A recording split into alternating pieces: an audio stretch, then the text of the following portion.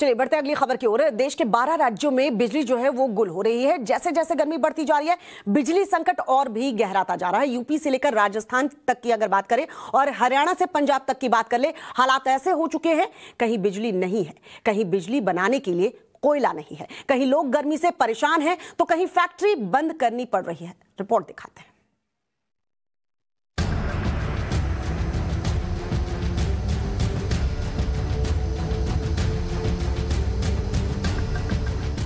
एक तो अप्रैल के महीने में ही जून जैसी गर्मी और ऊपर से बिजली की किल्लत, और इस किल्लत के पीछे की दो वजहें बताई जा रही है। एक तो कोयले की कमी, दूसरी बिजली की ज़्यादा डिमांड।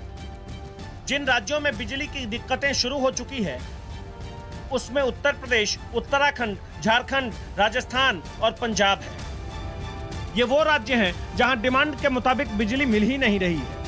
उत्तर प्रदेश में मांग है 2000 मेगावाट के आसपास। अभी 18000 मेगावाट ही मिल रही है। यूपी सरकार ने इस हालात को भांप लिया है। कोयले की कमी ना रहे, इस पर चर्चा भी शुरू कर दी है। बिजली उत्पादन के लिए कोयले की उपलब्धता सतत बनाए रखी जाए। अभी हमारे पास कोयले की कमी नहीं है, लेकिन मांग के अनुरूप कोयले की आपूर्ति सुगम बनी रहे, इसके लिए भारत सरकार से सतत संवाद बनाए रखे। अब उत्तराखंड के हालात को देखिए। राज्य में बिजली उत्पादन भी होता है, बावजूद इसके संकट बरकरार है। सालाना मांग है चौबीस मेगावाट, आपूर्ति हो रही है 1320 मेगावाट। उत्तराखंड की सरकार भी संकट को टालने के लिए सख्ती बरतनी शुरू कर दी है, लेकिन जितनी बिजली की मांग है, उतनी मिल नहीं रही है। झारखंड में तो हालात ऐसे बन गए हैं कि अब इसके खिलाफ लोगों ने आवाज़ उठानी शुरू कर दी है। क्रिकेटर महेंद्र सिंह धोनी की पत्नी साक्षी धोनी ने ट्वीट कर दिया है कि झारखंड के एक टैक्स पेयर के रूप में सिर्फ़ यह जानना चाहते हैं कि झारखंड में इतने सालों से बिजली संकट क्यों है? झारखंड के बाद पंजाब चलिए, जहाँ कई थर्मल प्लांट फ़िलहाल कोयले की भारी कमी से जूझ रहे हैं, फिर बिजली की दिक्कत ने लोगों की परेशानी अलग से बढ़ा दी है। केजरीवाल है। केजरीवाल को 24 घंटे बिजली देनी आती है।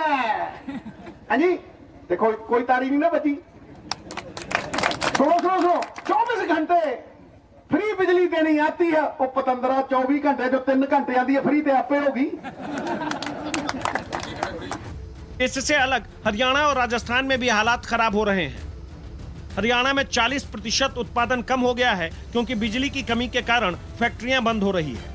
राजस्थान में 31 प्रतिशत बिजली की डिमांड बढ़ गई है।